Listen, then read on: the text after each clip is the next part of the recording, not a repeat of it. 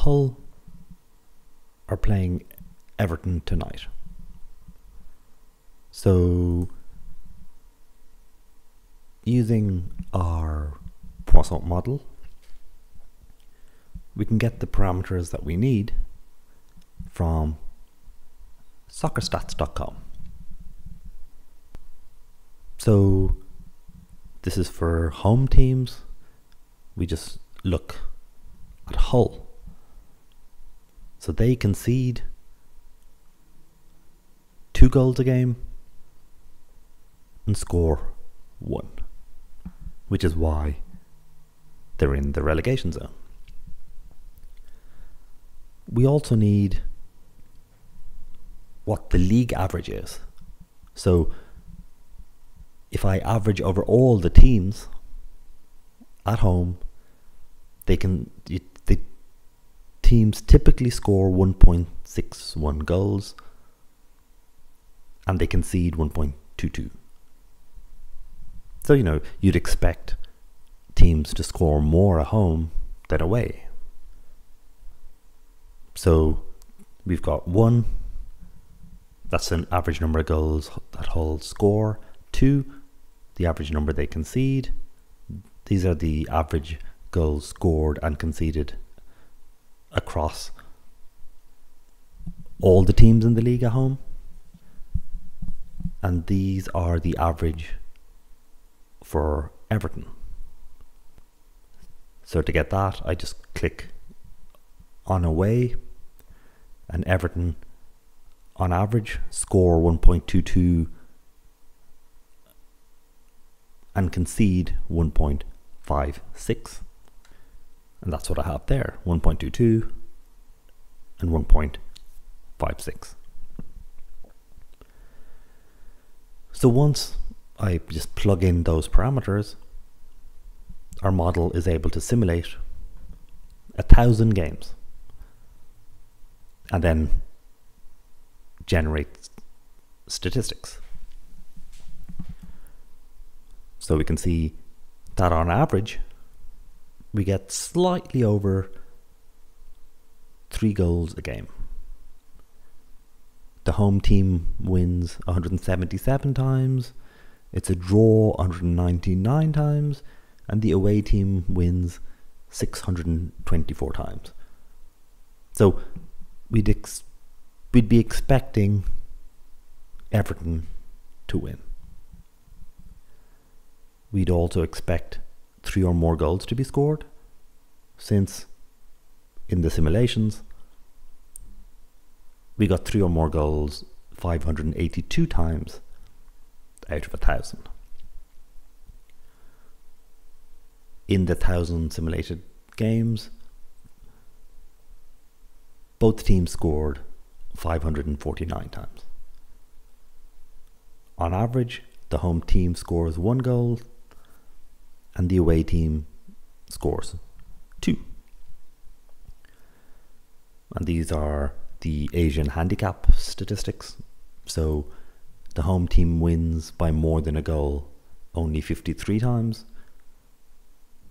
and the away team wins by more than one goal only 360 times. So that's what our simulations get.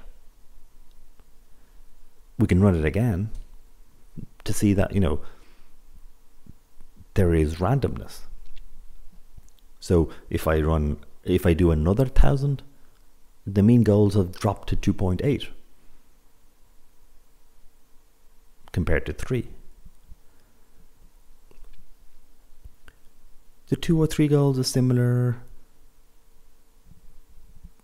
The mean home and away, you know, it was a nice 1.00, 2.03. That looked like a 1 2. This time we got 0.9 and 1.9.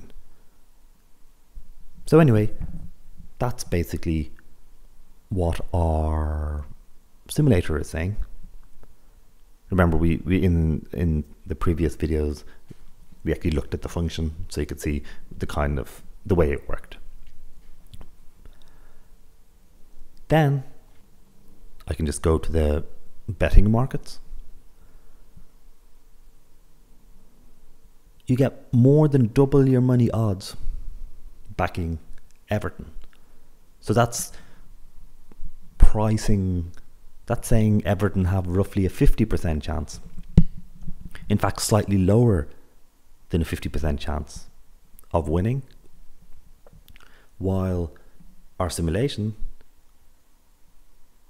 had Everton winning over 60%. Just look at this again. Yeah, so the away team won 61% of the time, 62% of the time in this simulation. So that's why I'm willing to back Everton. It also looks like we're going to get three or more goals. So the other bet is to bet on the score to say it's going to be 2 1. I mean, this is 1.9 and 0.9, but I mean, that's pretty close. The reason I want to do that is it in this market? Yeah. So backing Everton to win 2 1, the odds are 9 to 1.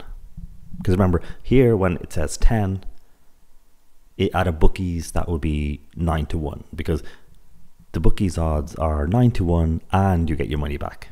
While here, it in, you just get 10 times your money back. So that includes the, the fact that you're getting your money back. So, again, we'll see how it goes. I'm still, you know, recording these, seeing what the model predicts and what actually happened. And there's some interesting patterns emerging, even though, of course, the sample is still pretty small. So there seems to be certain bets that the model is doing better in, that it's getting correct maybe 60% of the time, while others it's getting right 40% of the time. So we'll see. I mean, once I have I've done gone through this process for many more games, then I'll have more like the that data that kind of information will be more meaningful. It'll you know if say if I've done fifty games and I have statistics from that, it's a it's to me a better gauge of the model than just maybe ten. So now see how the game goes.